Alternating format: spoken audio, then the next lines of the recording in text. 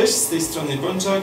Jesteśmy dzisiaj z Richem w Raceman Simulators i pokażemy Wam, e, co można robić poza sezonem, żeby troszkę potrenować i nie wypaść z wprawy. Cześć, jestem Tymek z Racemount. E, Zajmuję się symulatorami wyścigowymi, jak widzicie. Jesteśmy w Bielsku Białej, na ulicy Grażyńskiego 40. E, No i przede wszystkim skupiamy się na wyścigach płaskich, rajdach i drifcie.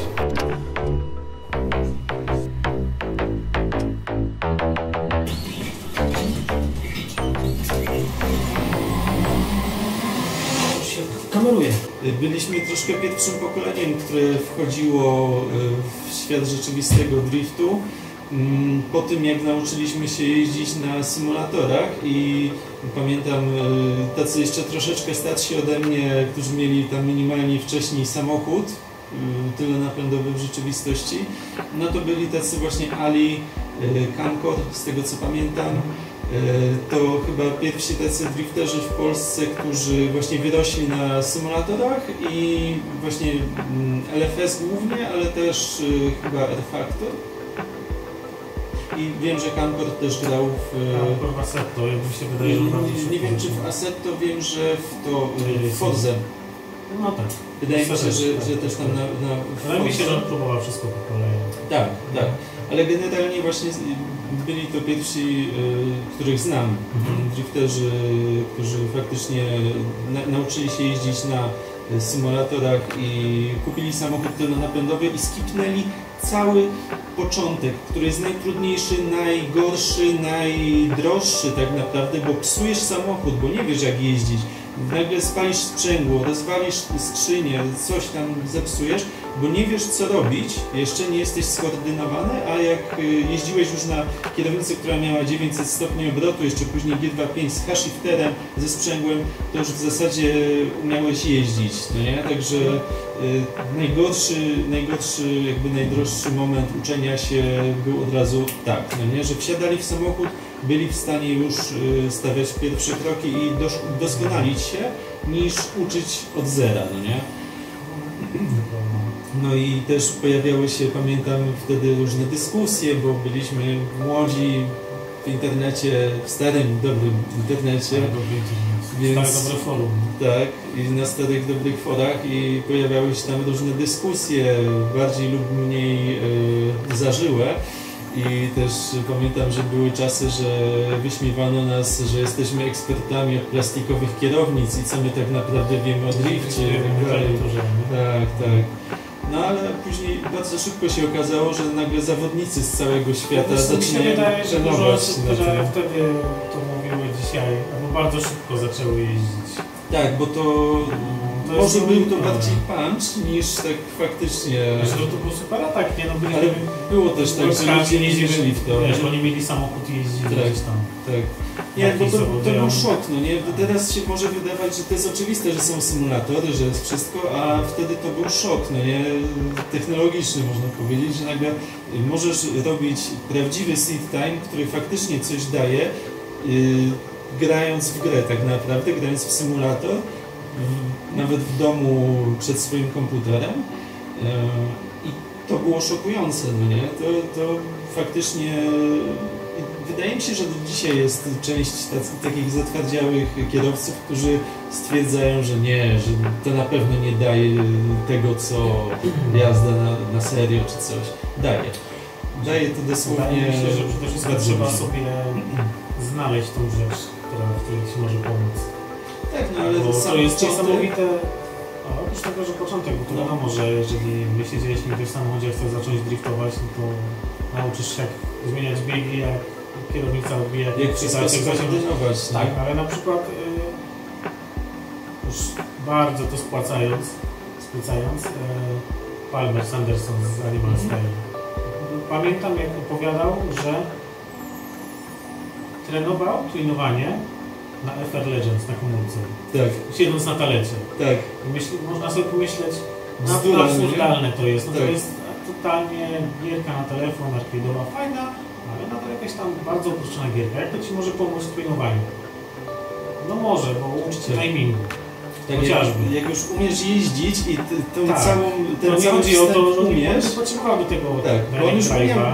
On driftować. zmieniać biegi, Tak. wiedział, co się dzieje. pamięć mięśniowa, bo Nie. to jest tak, że najpierw ucząc się driftu uczysz swoje, swoje ciało pamięci mięśniowej, co robić tak, żeby nie myśleć, co musisz robić po kolei i jak już to umiesz i umiesz prowadzić samochód w poślizgu, to tak naprawdę uczenie się twinów na jakiejś najbardziej nawet arcade'owej gierce nagle może, sens, ma sens. może mieć sens, bo wiesz kiedy się cofnąć, kiedy, przed przekładką i tak dalej. Przewidywać, nie? Tak, to na jak co się patrzeć, jak, jaką linią obrać. jak wypatrzeć, co kierowca przy tym chce zrobić. Tak, to jest swoją drogą.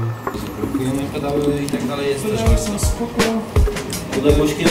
Kiedy do siebie jeszcze troszkę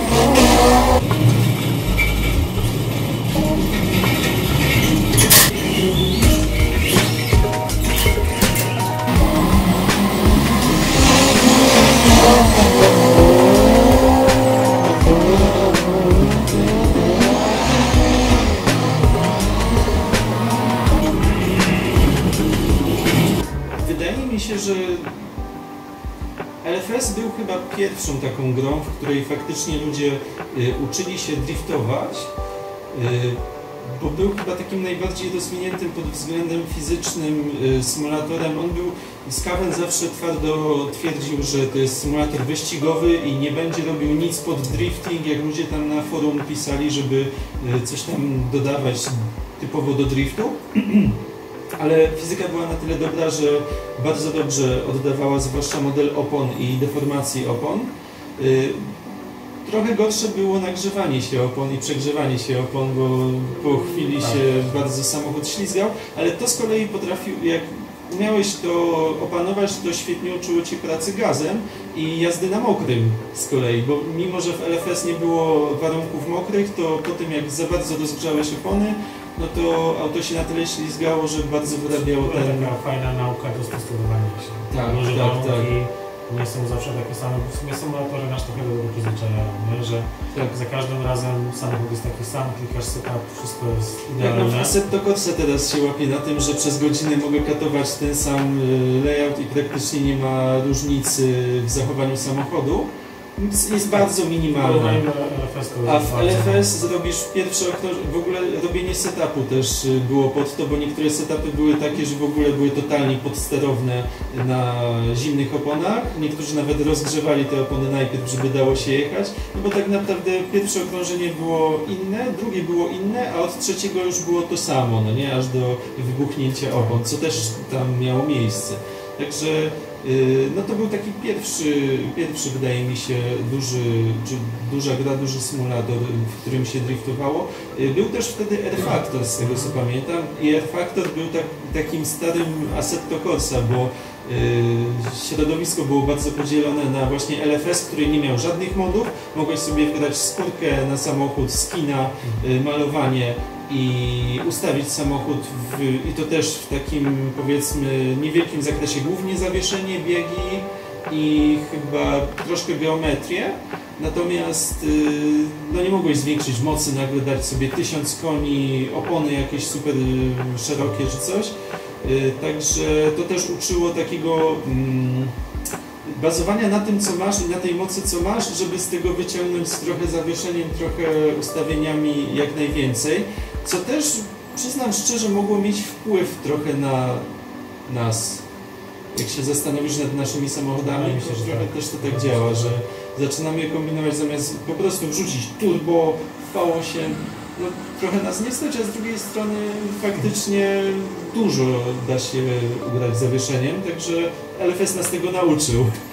Bo nagle mogłeś sobie poklikać, poklikać i auto się całkowicie inaczej zachowywało, no nie?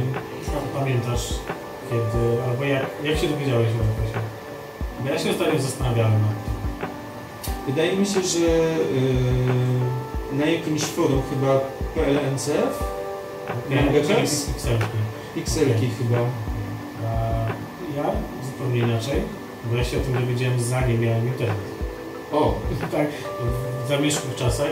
ale ja też miałem dość wcześniej internet. No, miałeś wcześniej ode mnie na pewno. Pamiętam, że jak ja za, zacząłem czytać e, forum LFS, to, już tam byłeś aktywnym użytkownikiem za rok czy dwa lata. Tak, ale e, pamiętam okolice 2004. To wszystko jest 2004 rok. Nie? Porody na, w Niemczech, pierwsze, pierwsze zawody i, i LFS. I pamiętam, że w zamierzchłych czasach było coś takiego jak encyklopedia gier komputerowych na Mhm. płytach. I tam znalazłem LFS. No proszę. I to była rz- rzecz taka, okej, wygląda fajnie. Nie wiem, czy tam było demo, czy tam była jakaś wersja Mogło być demo, bo demo dorzucali, pamiętam, nawet do jakiegoś być. y, magazynu. Ja, ja, ale jakoś mam wspomnienia akurat właśnie z encyklopedią gier, że to był ten moment, potem jakoś za chwilę pojawił się internet i się zaczęło mówić. Y, A wróćmy jeszcze do R-Factora, w- bo mówiłem, że scena była podzielona pomiędzy LFS i R-Factora troszkę. I właśnie ludzie, którzy y, bardzo lubili i zaczynali w LFS, zostawali bardzo często w nim, chociaż część się przeniosła albo grała na dwie gry, bo R-Factor z kolei oferował możliwość modowania, więc mogłeś mieć prawdziwe samochody, bo LFS dodajmy nie miało licencji ani na tory, ani na samochody, więc były takie przypominające rzeczywiste. Natomiast w F-Faktorze miałeś prawdziwe tory, prawdziwe samochody, modowane samochody, no i to też dużo ludzi przyciągało. Ale ja jakoś nie umiałem się odnaleźć w fizyce tam. Wiesz co, ja się ubiłem z Fastbackiem jako dzieciak, nie potrafiłem w ogóle się dogadać z tym, żeby też- to działało tak samo jak w LFS-ie. Podobno ludzie byli to w stanie ustawić, mi to się nigdy nie Wiesz, udawało. zawsze czegoś mi brakowało, albo w ogóle... Początkowo nawet i Assetto miałem y, ten problem, ja też. tak. ale w końcu się jakoś udało to G25 e, ustawić. To też były czasy, jak mm, przynajmniej ja jeździłem na DFP, to też była bardzo... Faktorze. E, Tak, R-Factor i początku właśnie LFS to G, G25 jest y, kosmosem w stosunku do DFP. DFP powiedziałbym, że podobna różnica pomiędzy G25 a y, tymi y, direct drive'ami, które są też tutaj, jest pomiędzy DFP i Wydaje mi G25. się, że tak, To był kolosalny skok. onboardy, nagrania ludzi, to było niewyobrażalne, jak takie Tak. różnice się Tak, że wkręca. chłop sobie jechał i robił Tak. tylko tak, no nie? Oczywiście. Że tam troszkę podciągnął i sobie puścił i ten... Tak oglądasz? A DFP w tych czasach nie do... było jak Ford Sierra z wspomaganiem, którym jeździłem początkowo, że może i nie odbijała ta kierownica, ale za to jak chciałeś ją szybko samemu skontrolować, to też było ciężko i stawiała opór. No ale też trzeba pamiętać, że można się też nauczyć e, czegoś dziwnego albo głupiego w e, symulatorach i widziałem takie onboardy ludzi, zwłaszcza z zawodów teraz w Assetto, e, że zmieniali, że jakby kontrolowali trakcję samochodu zmieniając 15 razy bieg w ciągu zakrętu, no nie, tak będąc na pełnym gazie na odcince i sobie tym regulując, y, no to jest y, super efektywne, żeby wygrać zawody na przykład, spoko, ale to jest exploit, no nie? ale to jest takie samo eksploitowanie jak w iRacing jazda po trawie. Tak. Żeby schłodzić opony, nie? Tak. Podczas okrążenia. W rzeczywistości nie schłodzisz opon, tylko ubrudzisz, nie? dokładnie. Więc y, też Simy mają swoje ograniczenia, ale trzeba y, je znać i wiedzieć, w którym jakby miejscu y, no, nie, powinniśmy na przykład 15 razy zmieniać w zakręcie biegu rzeczywistości, nawet w sekwencyjnej skrzyni. A nie a może, A może dobry sobie- pomysł, ja, może- a ja bym chciał. Tak? UEO zmieniał kiedyś tak szybko biegi w roku. No tak, no No. teoretycznie tak, ale no jednak y, na pewno pamiętasz jak to wyglądało w Tak. Assetto, to, Nie, no to- to być jeszcze to jest- Ale jeszcze z pełnym gazem. szczerze, no to jest e, naprawdę czapka z głów, że ludzie wymyślają takie Tak. rzeczy, nie? Jeżeli to są zawody, tych 3%. to są zawody, chodzi o wygranie. Jeżeli chłop tym, że zmieni ten bieg cztery razy, Tak. jest szybszy, przejdzie lepiej, albo że zjedzie na trawie i skłodzi opony, wygra Tak. wyścig. A jest to legalne? Tak. Dołączył do nas Gobla jako y, tester, y, który, y, kierowca drifter, który umie jeździć w rzeczywistości, ale za bardzo nie miał nigdy doświadczenia z y, sim driftem, Miałem, a jeśli nie miał, lubię. to tak, właśnie nie jeździł w sim drifcie, ponieważ y, odrzuciło go to y, Jak najbardziej mnie odrzucił i- Life for Speed na myszce. Tak. I, I zniechęcił się dość, dość wcześnie i chcemy zobaczyć, czy taki symulator, który daje e, wrażenia z jazdy i troszkę czuć te przeciążenia, ułatwi mu e, przesią, czy przesiadkę na e, sim. Mimo, że mamy to miejsce w Bielsku, jeszcze tu nie było. Serio. Także będzie ciekawa opcja zobaczyć na żywym przykładzie, jak to działa. Eee, kamera jest ok? Widzisz mnie dobrze? No widzę, coś widzę. Dobra.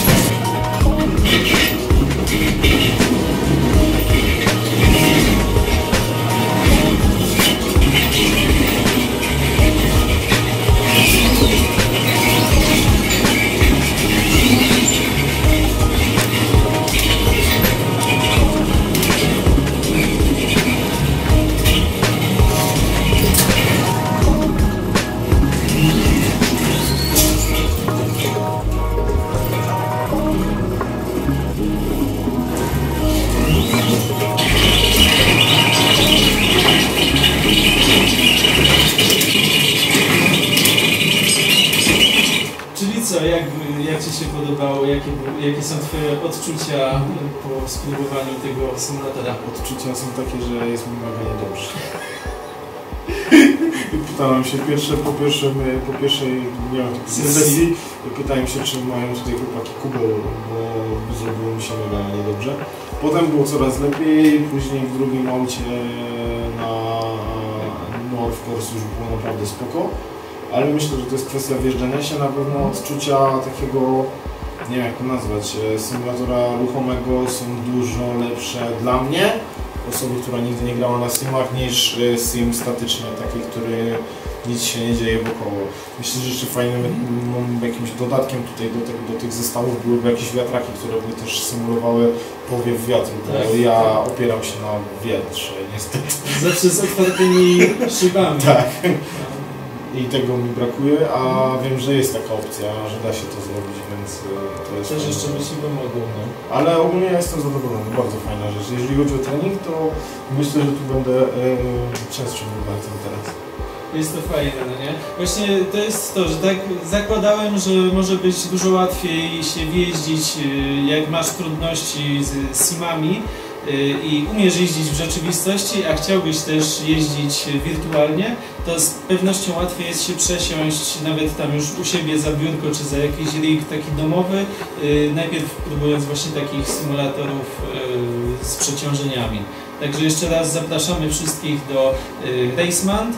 Y, Macie na dole jeszcze i w opisie y, kod rabatowy 20%, y, tam fajny drift 20 z tego co pamiętam i macie promocję, żeby przyjść, spróbować tego pojeździć. Można się pościgać, można podriftować, można pojeździć rajdy. Y, Jak widać po nas jest to bardzo intensywne, bo chwilkę tutaj zabawiliśmy i teraz po Ja- e, przejażdżce rajdowej jestem totalnie dętka. Dobrze, że YouTube nie oddaje zapachów. To jest prawda. Dobrze, no to myślę, że na dzisiaj to tyle. Do następnego.